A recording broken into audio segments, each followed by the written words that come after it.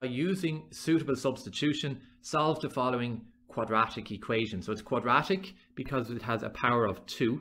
Uh, that's the giveaway here. And then it goes down to degree of 1 and then a constant. So that's telling me that it's a quadratic.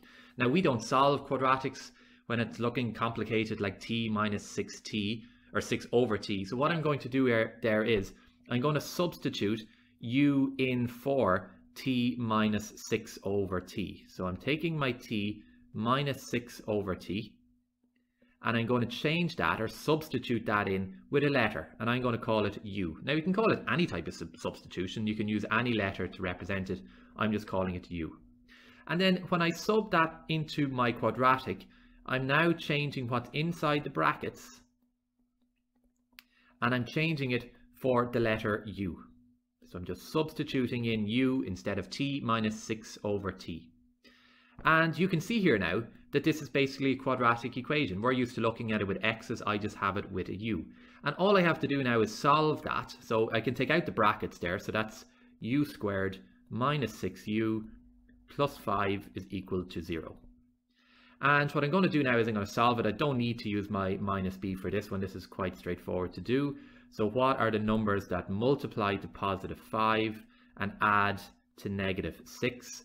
Uh, that's giving me a uh, u multiplied by u, and that's giving me a minus 5 multiplied by a minus 1, because minus 5 by minus 1 is positive 5, and minus 5 take away 1 is minus 6. So therefore, u minus 5 is equal to 0, u minus 1 is equal to 0. If I add 5 to both sides or move the 5 over, I get u is equal to 5 and u is equal to positive 1. Now, unfortunately, we're not finished because we now have to come up and solve for t. The question wants us to solve for t in this particular question. And I need to do it out twice for both answers that we achieved for u. So therefore, I'm now going to have, I'm bringing back up my uh, t minus 6 over t is equal to u. And I'm now going to change that to t minus 6 over t is equal to 5 because that's the answer I got for u. And I'm going to do that again. And I'm going to go t minus 6 over t is equal to u. This time I'm subbing in my positive 1 for u. And I'm solving this. Now I have 1 on the bottom, or sorry, t on the bottom of my fractions now. So that's the same as me putting these over 1, t over 1, 5 over 1, and I'm going to multiply across by t because my common denominator here is t. So I'm going to multiply across by t. So that's giving me uh, t squared.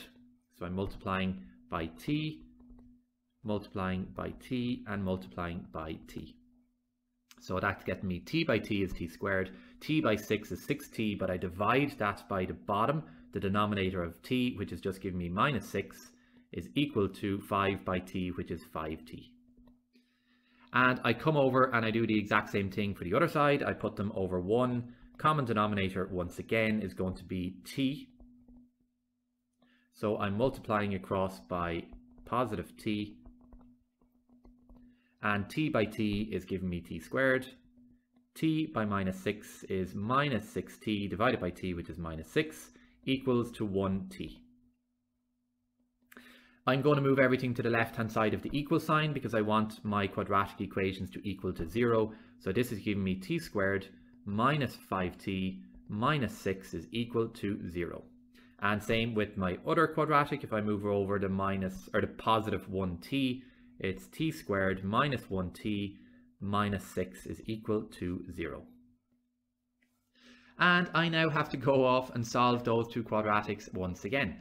Again, they look straightforward. I don't think I need my minus b formula, so I'm going two brackets equal to 0, two brackets is equal to 0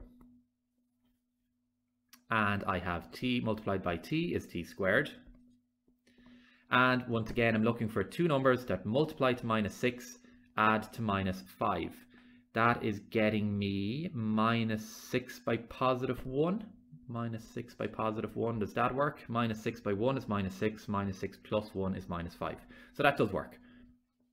So what are my two solutions for t? t minus 6 is equal to 0, so therefore t is equal to 6 t plus 1 is equal to 0, t is equal to negative 1.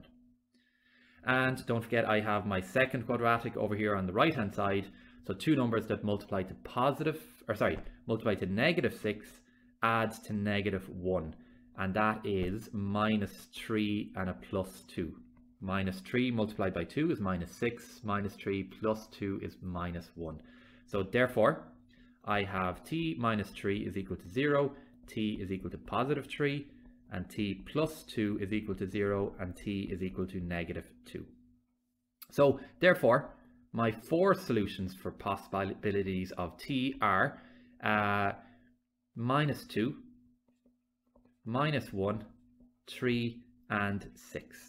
And they are my final solutions for t. Thank you for watching another tutorial video from Tulla Maths. Make sure and subscribe.